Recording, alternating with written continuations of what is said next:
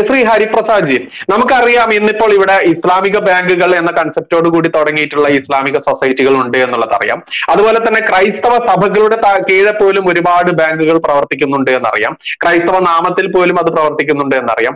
എന്താണ് ഹിന്ദു ഈ ഒരു നിധി ലിമിറ്റഡ് എന്ന രീതിയിലേക്ക് ആ ഒരു ഹൈന്ദവ കൺസെപ്റ്റിന്റെ പേരിൽ ബാങ്ക് തുടങ്ങിയാൽ അതല്ലെങ്കിൽ സഹകരണ കമ്പനികൾ തുടങ്ങിയാൽ സ്ഥാപനങ്ങൾ തുടങ്ങിയാൽ എന്താണ് ഇതിന് പിറകിലെ രാഷ്ട്രീയം? എന്താണ് അങ്ങയുടെ ഈ ഒരു വിഷയത്തിലെ വിലയിരുത്തൽ? ഇസ്ലാമിക് ബാങ്ക് എന്ന് പറയുന്ന കോൺസെപ്റ്റ് അത് ലോകത്ത് മുഴുവൻ നടപ്പിലുള്ള ഒരു സംഗതിയാണ്. അപ്പോൾ അത് എന്താണ് എന്നുള്ളത് എനിക്ക് തോന്നുന്നത് ഒരു പക്ഷെ പല പ്രേക്ഷകർക്കും അതിനെ പറ്റിയിട്ടുള്ള ഒരു കൺഫ്യൂഷൻ ഉണ്ടാകാം. അതിന്റെ ഒരു ക്ലാരിറ്റിക്ക് വേണ്ടിയിട്ടാണ് ഞാൻ ജസ്റ്റ് അതൊന്ന് മെൻഷൻ ചെയ്യാൻ ഉദ്ദേശിക്കുന്നത്. എന്നിട്ട് അങ്ങയുടെ ചോദ്യത്തിലേക്ക് വരാമെന്നാണ് ഉദ്ദേശിക്കുന്നത്. ഇസ്ലാമിന്റെ നിയമം ശരിയത്ത് എന്ന് പറയുന്ന നിയമത്തിനനുസരിച്ച് ഈ ശരിയത്ത് നിയമത്തിൽ പലിശ എന്ന് പറയുന്ന സംഭവം ഹറാമായിട്ടാണ് അവർ കാണുന്നത്. പലിശ ആക്സെപ്റ്റ് ചെയ്യുക അതുപോലെ തന്നെ പലിശ കൊടുക്കുക. രണ്ടും അവർക്ക് ഹറാമാണ്. അപ്പൊ അതുകൊണ്ട് തന്നെ പല അടിസ്ഥാനപരമായിട്ട് വല്ലാത്ത രീതിയിൽ ഇസ്ലാമിൽ വിശ്വസിക്കുന്ന ആളുകളെ സംബന്ധിച്ച് അവർ ഈ ഹറാമായ ഒരു കാര്യം ഞങ്ങൾ എങ്ങനെ ചെയ്യും എന്നുള്ള ഒരു ഒരു ഒരു കൺഫ്യൂഷനിൽ അല്ലെങ്കിൽ അങ്ങനത്തെ ഒരു മാനസികാവസ്ഥയിൽ നിൽക്കുന്ന ഒട്ടനവധി ആളുകളുണ്ട്. അവരെല്ലാവരും ജിഹാദികളാണ് എന്ന് നമുക്ക് അഭിപ്രായപ്പെടാൻ പ്രയാസാണ് എന്നിരുന്നാലും അത്തരം ആളുകൾക്ക് ഇത്തരത്തിലുള്ള ഫൈനാൻഷ്യലും ഇക്കണോമിക്കലുമായിട്ടുള്ള ആക്ടിവിറ്റീസ് ചെയ്യുവാനുള്ള ഒരു അവസരം എന്നുള്ള നിലയ്ക്കാണ് ഒരു പക്ഷേ അതുപോലെ തന്നെ പല സംരംഭങ്ങൾ തുടങ്ങുവാനായിട്ട് ഇത്തരത്തിൽ പലിശ ആവശ്യമില്ലാത്ത ഡെപ്പോസിറ്റ് കിട്ടുമ്പോൾ ഒബിയസ്ലി പലിശ ഇല്ലാത്ത ലോൺ കൊടുക്കാൻ സാധിക്കും. അപ്പൊ അത്തരത്തിൽ അത് സംരംഭങ്ങൾക്ക് വലിയൊരു എന്താ പറയാ ഒരു സപ്പോർട്ടായി മാറും എന്നുള്ള നിലയ്ക്കാണ് ഞാൻ നേരത്തെ സൂചിപ്പിച്ച പോലെ ഇത് നല്ല രീതിയിൽ പ്രവർത്തിക്കുന്ന മലേഷ്യ അമേരിക്ക തുടങ്ങിയിട്ടുള്ള അമേരിക്കയിലൊക്കെ വളരെ വ്യാപകമായിട്ട് ഇത്തരത്തിലുള്ള ഇസ്ലാമിക് ബാങ്കുകൾ നിലവിലുണ്ട്. അപ്പോൾ അവിടെയൊക്കെ പ്രവർത്തിക്കുന്നത് ഈ ഒരു അർത്ഥത്തിലാണ്. അപ്പോൾ ഹറാമായിട്ടുള്ള പലിശ സ്വീകരിക്കുകയും അതുപോലെ തന്നെ കൊടുക്കുകയും ചെയ്യാൻ ആഗ്രഹിക്കാത്ത ഒരു കമ്മ്യൂണിറ്റി അവരുടെ കയ്യിലുള്ള അവരുടെ സേവിങ്സ് ഒരു ഒരു വേറൊരു തരത്തിൽ പറഞ്ഞാൽ പല ആളുകളും ഇത്തരത്തിലുള്ള സ്ഥലങ്ങളിൽ ഫണ്ട് ലോഡ്ജ് ചെയ്യുന്ന സമയത്ത് എനിക്ക് പലിശ വേണ്ട. എനിക്ക് പേഴ്സണലി അറിയുന്ന ആൾക്കാരുണ്ട് കോഴിക്കോടൊക്കെ. എനിക്ക് പലിശ ആവശ്യമില്ല. ആ നിങ്ങൾക്ക് ബാങ്കിന് ഇപ്പൊ എങ്ങനെയായാലും പലിശ തരാതെ പറ്റില്ലല്ലോ.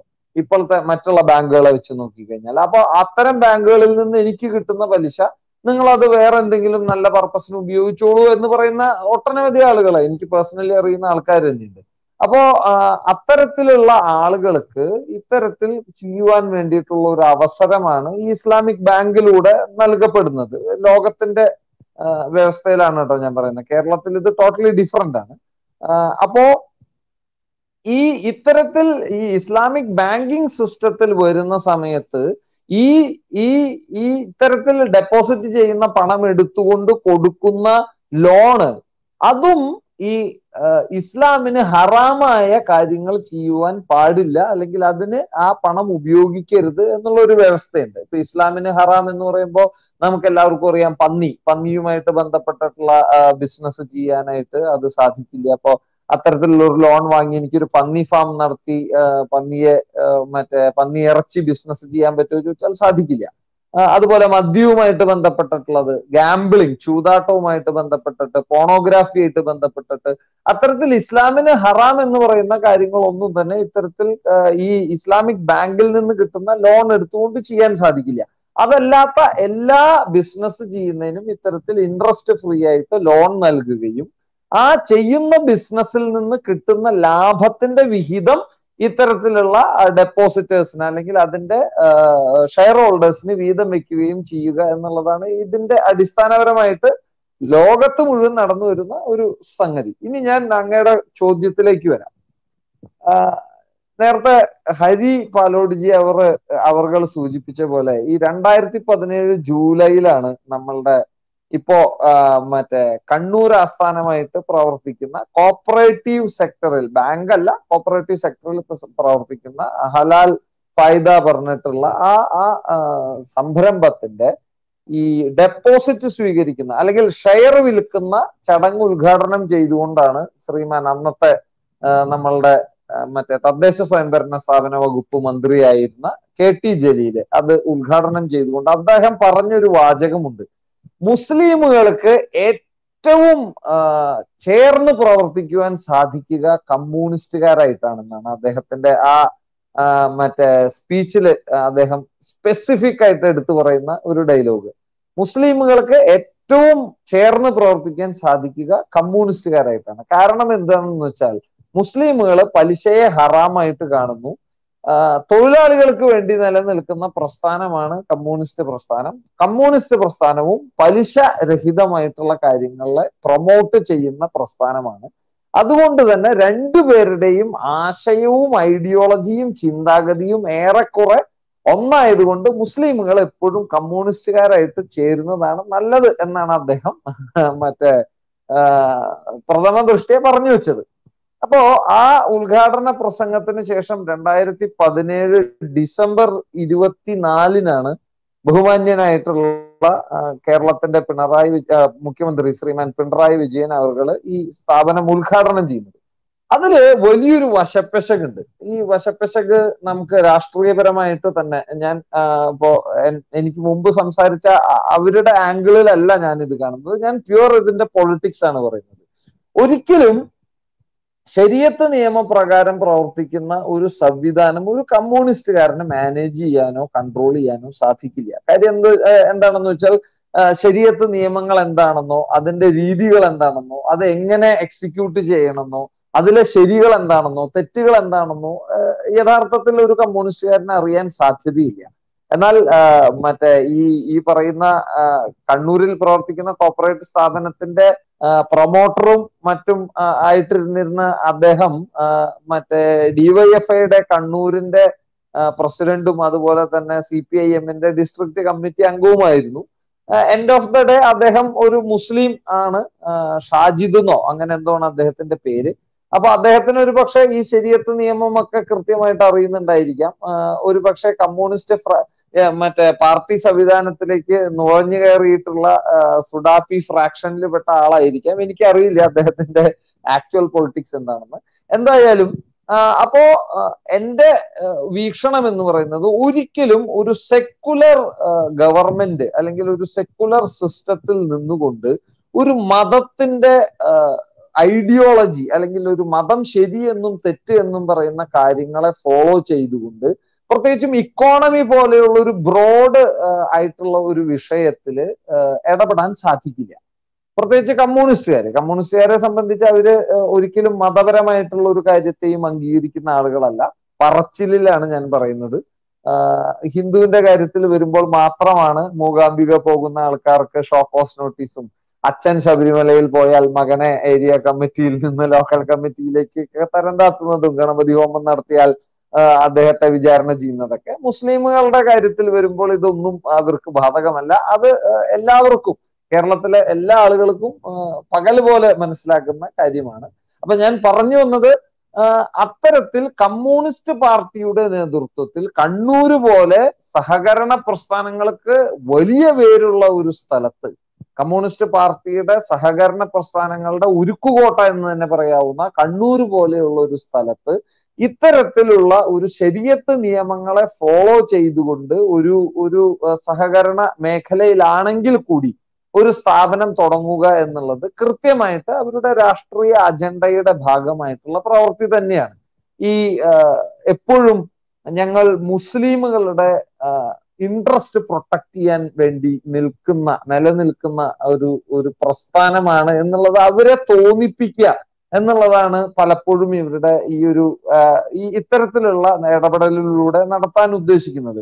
അപ്പോ നിങ്ങളുടെ ഇൻട്രസ്റ്റ് പ്രൊട്ടക്ട് ചെയ്യാൻ വേണ്ടി ഒരു ഇസ്ലാമിക് ബാങ്ക് മറ്റേ ബാങ്ക് എന്ന് പറയാൻ സാധിക്കില്ല എങ്കിൽ കൂടി ഇപ്പൊ നമ്മുടെ നാട്ടിൻപുറങ്ങളിലൊക്കെ കോപ്പറേറ്റീവ് സൊസൈറ്റികളെ ബാങ്ക് തന്നെയാണല്ലോ പറയുക. അപ്പൊ ഒരു ഇസ്ലാമിക് ബാങ്ക് ആദ്യമായിട്ട് ഇന്ത്യയിൽ കണ്ണൂരാണ് ഞങ്ങളാണ് സ്റ്റാർട്ട് ചെയ്യുന്നത്. അത് ഇടതുപക്ഷത്തിന്റെ നേതൃത്വത്തിലാണ് സി പി ഐ എമ്മിന്റെ നേതൃത്വത്തിലാണ് മൈനോറിറ്റി സെക്ടറിൽ പ്രവർത്തിക്കുന്ന ഇരുപത്തിയോളം വരുന്ന സി പി ഐ എം അനുഭാവമുള്ള അല്ലെങ്കിൽ സി പി ഐ എമ്മിന്റെ പോഷക സംഘടനകളുടെ സപ്പോർട്ടോട് കൂടിയിട്ടാണ് ഞങ്ങൾ ഈ സംരംഭം തുടങ്ങുന്നത് എന്നുള്ള ആ അത്തരത്തിലുള്ളൊരു വ്യാപകമായിട്ടുള്ള ഒരു പ്രചരണം ഈ മുസ്ലിം മതവിഭാഗത്തിന്റെ ഇടയിൽ വ്യാപകമായിട്ട് അഴിച്ചുവിടാനും അതുവഴി കണ്ണൂർ കാസർഗോഡ് തുടങ്ങിയിട്ടുള്ള കോഴിക്കോട് തുടങ്ങിയിട്ടുള്ള മേഖലകളിലുള്ള അതിസമ്പന്നന്മാരായിട്ടുള്ള മുസ്ലിമുകളുടെ പൈസ അതുപോലെ ഗൾഫിലൊക്കെ ജോലി ചെയ്യുന്ന ആളുകളുടെ പൈസ ഇത്തരത്തിൽ ഇവരുടെ കൈകളിലേക്ക് ഇവരുടെ അതിന്റെ മാനേജ്മെന്റ് പാർട്ടിയുടെ കൈകളിലേക്ക് എത്തിക്കുവാനുള്ള ഒരു ഗൂഢ നീക്കം കൂടെ അതിന്റെ ഉള്ളിലുണ്ട് എന്ന് നമുക്ക് മനസ്സിലാക്കാം. അച്യുതാനന്ദൻ മിനിസ്ട്രിയുടെ കാലത്ത് അച്യുതാനന്ദൻ മിനിസ്ട്രിയുടെ സമയത്തും എനിക്ക് തോന്നുന്നു അതെ തോമസ് ഐസക് തന്നെയാണ് ധനകാര്യ വകുപ്പ് മന്ത്രി. അദ്ദേഹം പഴയ ആ ജുബേൽ തന്നെയായിരുന്നു അന്നും. അപ്പോ അദ്ദേഹത്തെ ധനകാര്യ വകുപ്പ് മന്ത്രി എന്നൊക്കെ വിശേഷിപ്പിക്കാൻ വിശേഷിപ്പിക്കേണ്ടി വന്നതിൽ തന്നെ വലിയ ദുഃഖമുണ്ട്. കാര്യം അദ്ദേഹത്തിന്റെ ഒരു കാലിബർ വെച്ചിട്ട് അത്തരം ഒരു വിശേഷണം ഒട്ടും യോജിക്കാത്ത ഒരു ആളാണ് ശ്രീമാൻ മറ്റേ തോമസ് ഐസക്. അപ്പൊ എന്തായാലും അദ്ദേഹം ഈ ഇസ്ലാമിക് ബാങ്ക് എന്ന് പറയുന്ന കൺസെപ്റ്റ് വളരെ ഗൗരവത്തോടു കൂടിയിട്ട് കൊണ്ടുവരികയുണ്ടായി. അപ്പൊ എന്റെ ഓർമ്മ ശരിയാണെങ്കിൽ അതിനെതിരെ ബി ജെ പിയുടെ നേതൃത്വത്തിൽ കോടതിയിൽ പോവുകയും ആ കോടതിയിൽ പോയിട്ട് വലിയ നിയമ പോരാട്ടത്തിനൊടുവിൽ അവസാനം ബി ജെ പിയുടെ ആ ഒരു ഒരു മറ്റേ ഹർജി തള്ളിക്കളയാണ് ഉണ്ടായത്. അതിൽ മെറിറ്റ് ഇല്ല എന്ന് പറഞ്ഞിട്ട് തള്ളിക്കളയാണ് ഉണ്ടായത്. മെറിറ്റ് ഇല്ല എന്നുള്ള എന്നുള്ളതിന്റെ അടിസ്ഥാനം ബി ജെ പി പറഞ്ഞത് തെറ്റ് എന്നല്ല. അത് കോടതി വഴി ചോദ്യം ചെയ്യപ്പെടേണ്ടതല്ല. നേരെ മറിച്ച് റിസർവ് ബാങ്കും അതുപോലെ സെബിയുമായിട്ട് ബന്ധപ്പെട്ട കാര്യങ്ങളാണ്. അത് അവിടെയാണ് പറയേണ്ടത് എന്ന് പറഞ്ഞിട്ടാണ് മറ്റേ അത് മാറ്റിവെച്ചത് അല്ലെങ്കിൽ തള്ളിക്കളഞ്ഞത്. അപ്പോ തോമസ് ഐസക്കിന് പക്ഷേ ഈ ഒരു കോടതിയുടെ അനുകൂലമായിട്ടുള്ള ഒരു നിലപാട് വന്നപ്പോഴേക്കും അവരുടെ ആ ഒരു സമയം കഴിഞ്ഞു എന്നുള്ളതാണ് സത്യം. അപ്പോഴേക്കും സർക്കാർ മാറി. ഉമ്മൻചാണ്ടി സർക്കാർ വന്നു. ഇത് ഉമ്മൻചാണ്ടി സർക്കാർ വന്നാലും മുസ്ലിം മതവിഭാഗത്തെ സംബന്ധിച്ച് പ്രത്യേകിച്ച് വ്യത്യാസമൊന്നുമില്ല. ചേട്ടൻ ബാവ അനിയൻ ബാവ പോലെ തന്നെയാണ്. ഇടതുപക്ഷവും വലതുപക്ഷവും മറ്റേ മധ്യപക്ഷവും എല്ലാം സെയിം തന്നെയാണ് അവരുടെ കാര്യത്തിൽ. അപ്പോ കുഞ്ഞാലിക്കുട്ടിയുടെ നേതൃത്വത്തിൽ വീണ്ടും അത് മുന്നിലോട്ട് പോവുകയാണ് ഉണ്ടായത്. മറ്റേ ഒരുപാട് ശ്രമങ്ങൾ നടത്തി അത് ഏകദേശം വിജയിക്കുന്ന ഒരു അവസ്ഥയിലെത്തിയ സമയത്താണ് ആർ ബി ഐയുടെ ഇന്റർവെൻഷൻ ഉണ്ടായത്. ആർ ബി ഐ അതിന് സാങ്ഷൻ കൊടുത്തില്ല. ഇന്ത്യയിൽ അത്തരത്തിലുള്ള ഒരു ബാങ്കിന്റെ ആവശ്യമില്ല. വേണമെങ്കിൽ നിങ്ങൾക്ക് അത്തരത്തിലൊരു വിൻഡോ ഇസ്ലാമിക് വിൻഡോ ഓപ്പൺ ചെയ്തിട്ട് ഇത്തരത്തിലുള്ള ആൾക്കാർ ആ ആ സെക്ടറിൽ പണം നിക്ഷേപിക്കുകയും മറ്റേ പലിശ ഇല്ലാതെ അത് ഹാൻഡിൽ ചെയ്യുകയും ചെയ്താൽ മതി എന്നൊക്കെ ആർ ബി ഐ പറഞ്ഞുകൊണ്ട് അത് ഏകദേശം അങ്ങനെ സെറ്റ് അസൈഡ് ചെയ്ത് വെക്കുകയാണ് ചെയ്തത്. പിന്നീട് അതിലേക്കുള്ള ഒരു ശ്രമങ്ങൾ കാര്യമായിട്ട് നടന്നിട്ടില്ല. അപ്പോ ഇപ്പോ ഇത്തരത്തിലുള്ള ഒരു പ്രൊപ്പഗാൻഡ അടിച്ചിറക്കുന്നത്. എനിക്ക് തോന്നുന്നത് തേജസിന്റെ ഓൺലൈൻ മീഡിയയിലും അതുപോലെ ഈ മറ്റേ മീഡിയ വൺ പോലെയുള്ള ചാനലുകളിലും കേരള കൗമുദിയോ അങ്ങനെ ഏതോ ഒന്ന് രണ്ട് പത്രങ്ങളിൽ ചെറിയ തോതിൽ ഒരു വാർത്ത വന്നപ്പോഴേക്കും ഈ വാർത്തയൊക്കെ ഇവർ അടിച്ചു വിടുന്നതാണ്. ഇതൊരു ടെസ്റ്റ് ഡോസ് നമ്മൾ കരിമരുന്ന് ഇടുക എന്ന് പറയുന്ന പോലെയുള്ള ഒരു കേസാണ്. അത് ഇട്ട് നോക്കിയതാണ്. അത് ഏറ്റുപിടിച്ചു എന്നുള്ളത് തന്നെ ഏറ്റവും വലിയ സൂചനയാണ് ഇതിന്റെ ബാക്കിൽ ഇവന്മാർ തന്നെയാണ്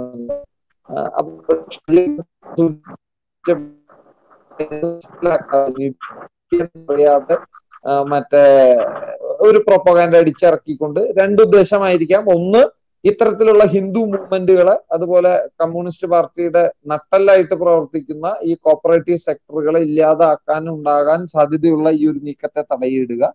രണ്ട് ഈ പേര് പറഞ്ഞ് വീണ്ടും പഴയ ഇസ്ലാമിക് ബാങ്ക് എന്ന് പറയുന്ന കോൺസെപ്റ്റ് പൊടി തട്ടി എടുക്കുക ഓൺലൈനിലൊക്കെ സെർച്ച് ചെയ്യുന്ന സമയത്ത് ഈ യൂസഫ് അലി അതുപോലെ തന്നെ ആസാദ് മൂപ്പൻ തുടങ്ങിയിട്ടുള്ള ഗൾഫ് അലി മമ്മാദ് അലി തുടങ്ങിയിട്ടുള്ള ആൾക്കാരുടെയൊക്കെ നേതൃത്വത്തിൽ കൊച്ചി ബേസ് ചെയ്തിട്ടുള്ള ബേസ് ചെയ്തിട്ട് വലിയ ഇത്തരത്തിലുള്ള ഒരു സംരംഭം വരാൻ സാധ്യതയുണ്ട് എന്നും അവർ ഒരു പക്ഷേ ഈ തിരുവനന്തപുരം കാസർഗോഡ് അതിവേഗ റെയിൽപാതയ്ക്ക് ഫണ്ട് പോലും ചെയ്യാൻ സാധ്യതയുണ്ട് എന്നും പല ചെറിയ റിപ്പോർട്ട്സ് ഒക്കെ ഞാൻ വായിച്ചിട്ടുള്ളതായിട്ട് ഓർക്കുന്നു. അപ്പോ അത്തരത്തിൽ ഇതിനെ പ്രൊജക്ട് ചെയ്തുകൊണ്ട് ഹിന്ദുക്കൾ ഇതാ ബാങ്ക് ഒക്കെ തുടങ്ങുന്നു. പത്തെണ്ണൂറ് ബാങ്ക് ഇത് ഓൾറെഡി സ്റ്റാർട്ട് ചെയ്ത് കഴിഞ്ഞു. ഇനി ഇവിടെ മൊത്തം ഹിന്ദു ഹിന്ദുവിന്റെ കാര്യം മാത്രം നോക്കുള്ളൂ എന്നൊക്കെ പറഞ്ഞ ആൾക്കാരെ തെറ്റിദ്ധരിപ്പിച്ച് അപ്പുറത്തൊരു പോളറൈസേഷൻ. നമ്മൾ ഹിന്ദു ഒരിക്കലും മറ്റേ ഏകീകരിക്കില്ല എന്നുള്ളത് അവർക്കറിയാം. എന്നാൽ ഈ പേരും പറഞ്ഞ് അപ്പുറത്തുള്ള ആൾക്കാരെ മുഴുവൻ ഒന്നാക്കി അവരെ മുഴുവൻ മറ്റേ ഏകീകരിച്ച് വോട്ട് ബാങ്കായിട്ട് മെയിന്റെയിൻ ചെയ്യുക. അവരുടെ കയ്യിൽ കിടക്കുന്ന ശതലക്ഷക്കണക്കിന് കോടി രൂപ വെൽവീര്യം ചെയ്യാനുള്ള ഒരു അവസരം കൂടെ ഇവരുടെ കൈകളിലേക്ക് എത്തിക്കുക എന്നുള്ള ഒരു സ്മാർട്ട്നെസ് കൂടെ ഇതിന്റെ പുറകിൽ ഉണ്ട് എന്നാണ് ഞാൻ സംശയിക്കുന്നത്. ഇതിനകത്ത് എനിക്ക് ഞാൻ സൂചിപ്പിക്കാൻ വിട്ടുപോയ ഒന്ന് രണ്ട് കാര്യങ്ങൾ കൂടിയാണ് ഞാൻ പറയാൻ ഉദ്ദേശിച്ചത്. ഇപ്പോ ഇസ്ലാമിക് ബാങ്ക് എന്ന് പറയുന്ന കോൺസെപ്റ്റ് ഒരു പക്ഷെ ഇസ്ലാമിക് ബാങ്ക് ആയിട്ട് കേരളത്തിൽ നിലവിലില്ല കോപ്പറേറ്റീവ് സെക്ടറിൽ ഈ പറയുന്ന മറ്റേ എന്താ പറയാ കണ്ണൂരിലുള്ള ഈ ഒരു സ്ഥാപനമുണ്ട്. ചേരമാൻ ഫിനാൻഷ്യൽ ലിമിറ്റഡ് എന്ന് പറയുന്ന ഒരു സ്ഥാപനമാണ് ഈ രണ്ടായിരത്തി പതിമൂന്ന് കാലഘട്ടത്തിൽ ഈ ഇസ്ലാമിക് ബാങ്കിങ് എന്ന് പറയുന്ന ഒരു കോൺസെപ്റ്റിലൂടെ പ്രവർത്തിക്കുന്ന ആദ്യത്തെ മറ്റേ സംരംഭം.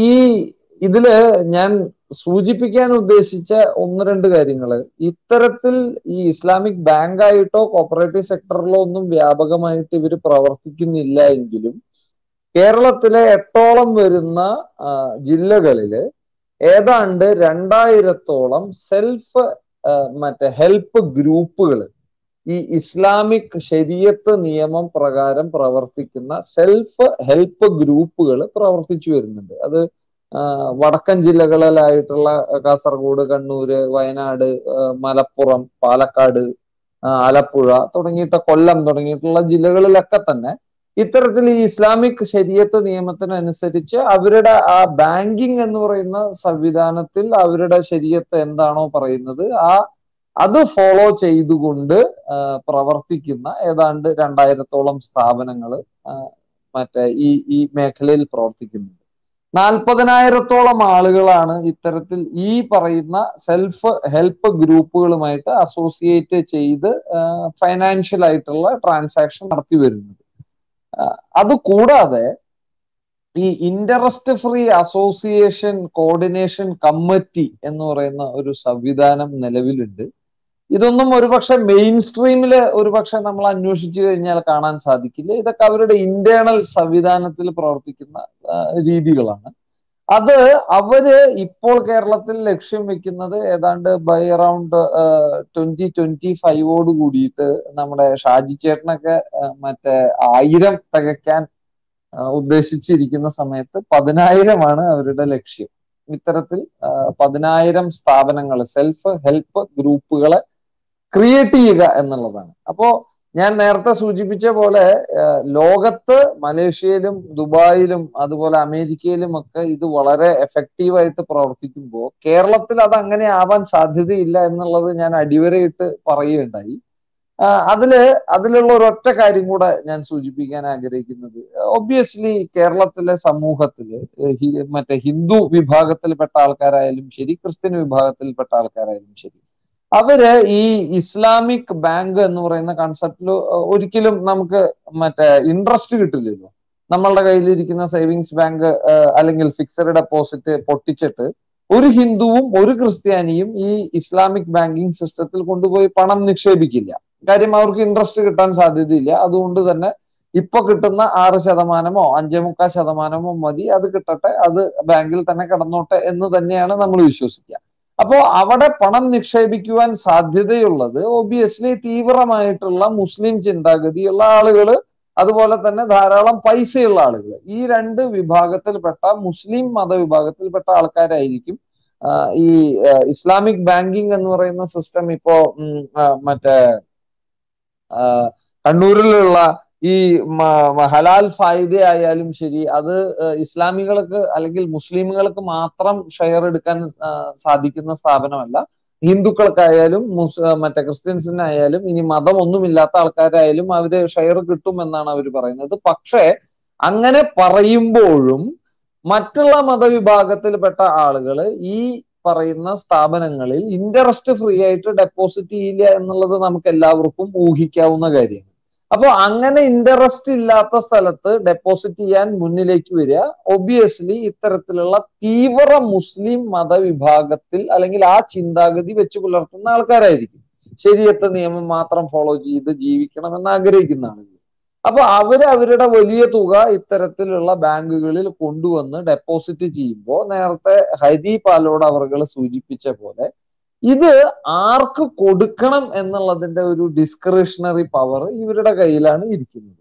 അപ്പോ സാമ്പത്തികമായിട്ടും ജിഹാദ് പോലെയുള്ള പ്രവർത്തനങ്ങൾക്കും ഇത് ഉപയോഗിക്കാൻ സാധിക്കുമോ എന്ന് ചോദിച്ചാൽ സാധിക്കുമെന്ന് തന്നെ നമുക്ക് പറയേണ്ടി വരും. കാരണം ഇത്തരത്തിൽ ഇന്ററസ്റ്റ് ഫ്രീ ആയിട്ട് മുസ്ലിം മതവിഭാഗത്തിൽപ്പെട്ട ആളുകൾ കൊണ്ടുപോയി ഡെപ്പോസിറ്റ് ചെയ്യുന്ന അല്ലെങ്കിൽ ലോഡ്ജ് ചെയ്യുന്ന ഫണ്ട് ഒബിയസ്ലി അവർ മുസ്ലിം മതവിഭാഗത്തിൽപ്പെട്ട ആളുകളുടെ ബിസിനസ് പർപ്പസിനും അവരുടെ ഇത്തരത്തിലുള്ള ആവശ്യങ്ങൾ നിറവേറ്റുന്നതിനും കൊടുക്കാനായിരിക്കും താല്പര്യപ്പെടുക. ഒരു ഹിന്ദുവോ അല്ലെങ്കിൽ ഒരു ക്രിസ്ത്യാനിയോ പോയിട്ട് എനിക്കൊരു ബിസിനസ് തുടങ്ങണം ചേട്ടാ കുറച്ച് ലക്ഷങ്ങൾ എനിക്ക് ലോൺ തരുമോ ചോദിച്ചാൽ ഒരു ഒബിയസ്ലി അവരത് നിഷേധിക്കാനാണ് സാധ്യത.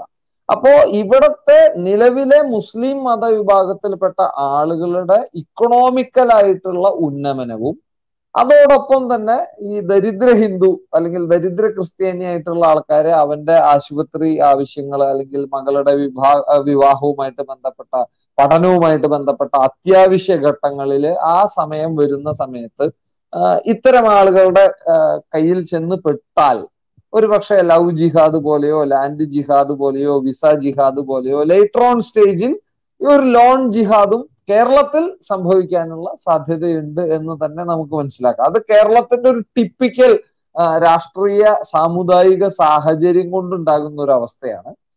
അപ്പൊ അതുകൊണ്ട് തന്നെ ഈ ഈ ഇസ്ലാമിക് ബാങ്ക് എന്ന് പറയുന്ന കോൺസെപ്റ്റിലൂടെ അവർ രണ്ടും ലക്ഷ്യം വെക്കുന്നുണ്ട് എന്നാണ് ഞാൻ മനസ്സിലാക്കുന്നത്. ഒന്ന് സാമ്പത്തികമായിട്ട് ഇസ്ലാമിക് ഇസ്ലാമിൽ വിശ്വസിക്കുന്ന ആളുകളുടെ ബിസിനസ് അല്ലെങ്കിൽ അവരുടെ അത്തരത്തിലുള്ള കാര്യങ്ങൾക്ക് ഫണ്ട് ചെയ്യുക. അവരെ പ്രൊമോട്ട് ചെയ്യുക അവരെ ഡെവലപ്പ് ചെയ്തെടുക്കുക. അതുവഴി ഇപ്പൊ ഒരു ഇസ്ലാം ഒരു ഇൻഡസ്ട്രി തുടങ്ങി കഴിഞ്ഞാൽ അവിടെ ജോലിക്ക് വെക്കുക എപ്പോഴും കൂടുതലും ഇസ്ലാമുകളെ ആയിരിക്കും മുസ്ലിമുകളെ ആയിരിക്കും.